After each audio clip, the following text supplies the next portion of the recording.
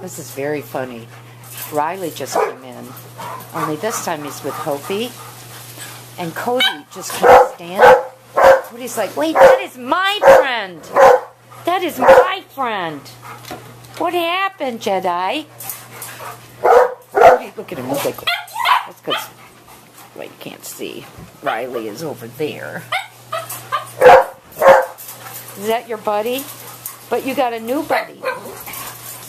I know. It's just, well, you know. It's just the way it is.